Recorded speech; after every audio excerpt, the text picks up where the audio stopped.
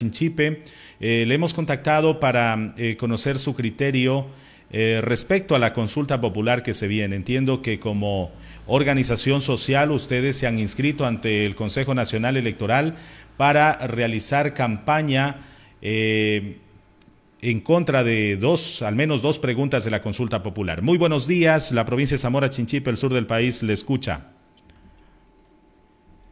Buenos días, qué gusto poderles saludar a nombre de nuestra central sindical UGT y en calidad de presidente de turno eh, del PU. Efectivamente, los trabajadores aglutinados en nuestra central sindical, el Frente Unitario, hemos tomado la decisión de escribirnos y ya fuimos aceptados en el Consejo Nacional Electoral frente a la consulta popular del 21 de este abril. Nosotros hemos planteado primero de que es una consulta innecesaria, inoficiosa, porque seis de las once preguntas lo que requieren es reforma al Código Integral Penal. Que pierda o gane la consulta, el presidente debe volver a enviar un proyecto de ley a la Asamblea. Además, ya está toma, este, discutiéndose eh, el tema de la reforma al Código Integral Penal. Nuevamente se quiere consultar al pueblo ecuatoriano. Claro, el gobierno dijo que suspendan el debate porque eso le va a eh, quitar fuerza a este, la consulta popular. En el fondo, ecuatorianos, lo que quiere el gobierno es romper el candado constitucional del artículo 327 de la Constitución, donde obviamente este artículo prohíbe el trabajo por horas, el contrato, este, los contratos precarios, la tercerización, la intermediación eh, laboral. Entonces, obviamente en la pregunta D y E del, del referéndum está esta situación y para nosotros eso es gravísimo, es darle una mano de obra barata, una esclavitud moderna a los jóvenes, al pueblo ecuatoriano que clama por un trabajo digno, un trabajo estable y por eso obviamente nosotros vamos a decirle no este 21 de abril.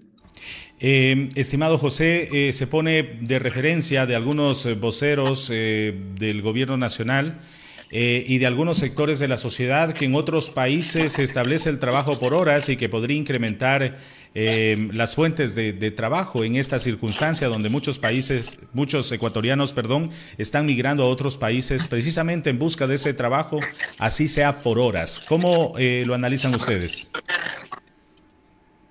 Los ecuatorianos deben recordar de que en el 2000 se aprobó en la famosa ley Troll el trabajo por horas que estuvo vigente hasta, hasta el 2008 y el contrato a plazo fijo hasta mediados del 2015 que fue eliminado en la famosa ley de justicia laboral. Los eh, este, pronunciamientos, las noticias de ese momento, la información del Banco Central establece que no se resolvió el tema del desempleo, de la informalidad en esos años, por día el 46, el 48 este, por ciento. Lo que sí hubo es abuso, lo que sí hubo es explotación laboral, lo que sí se pagaba en ese entonces la hora de trabajo 50 este, centavos. Y hoy obviamente nos dicen de que hay que volver a eso que no sirvió en nuestro país, que obviamente sirvió para precarizar las condiciones de vida del pueblo ecuatoriano y de los trabajadores y obviamente nos hacen la comparación con los países de Europa. Es verdad, en Europa, Estados Unidos, España, etcétera, se trabaja por horas, pero ahí la hora trabajada vale 15, 18, 20 dólares. En nuestro país vale un dólar 92.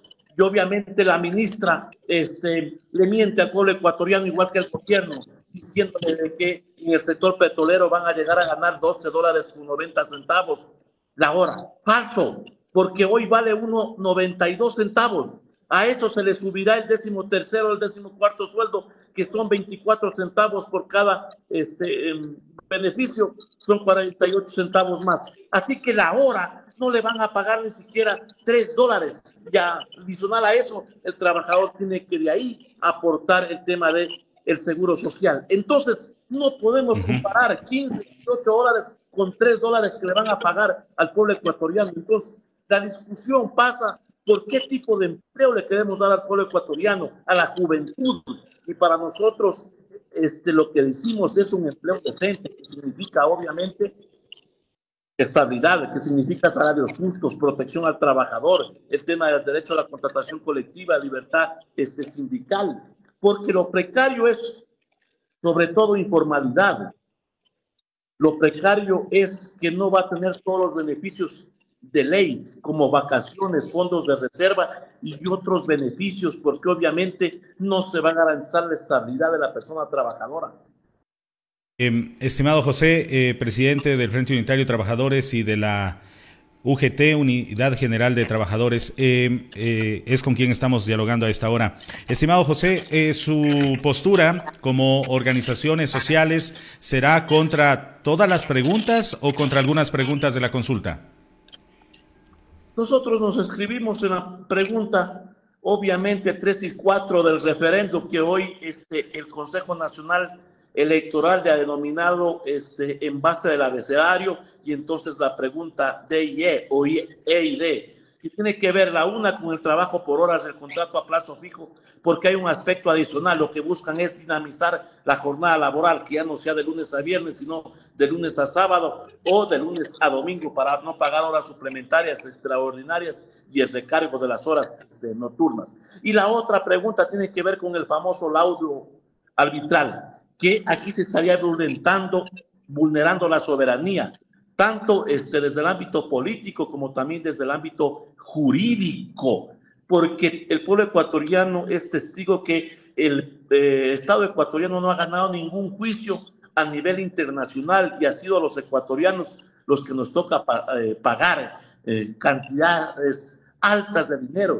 Ahí está el tema de Texaco, ahí está el, tema de Perenco, que recientemente este, se, se sentenció que los ecuatorianos debemos pagar por más de 420 millones de dólares. Entonces, hay que entender que estos juicios no los no ponen otros estados, sino las empresas, las multilaterales. Y obviamente eso mm. este, serviría para que los ecuatorianos si, sigamos pagando cantidades jugosas de dinero producto de, de las demandas a nivel internacional por algún incumplimiento del Estado ecuatoriano, que vuelvo y repito, no hemos ganado ningún juicio y lo que nos ha tocado es pagar. Entonces, a estas dos preguntas nos hemos escrito y obviamente la consulta que es innecesaria, que se convertiría en, un, este, en una campaña anticipada para la reelección del presidente en Novoa, hay que decirle no, porque dice que es para afirmar, para este, ratificar lo que hoy viene haciendo en el tema de este, combatir el narcotráfico, la inseguridad. Hay que, hay que decirle sí a la vida, hay que decirle y exigirle al gobierno que le viene, por cierto, mintiendo y incumpliendo al pueblo ecuatoriano, que es la responsabilidad del gobierno, pero no a costillas del pueblo ecuatoriano.